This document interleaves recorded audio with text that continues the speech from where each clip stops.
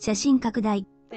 2021年12月の阪神 JFG1 で4着だったナヌール、メス3歳、立東、高野智和厩舎、父ハービンジャーは、新たに横山武史騎手、美穂所属するキャロットクラブがホームページで発表したショートライアルのチューリップ賞 G2、3歳牝馬同馬はデビュー2連勝で出走した阪神 JF で一番人気に支持された2月17日、分かった。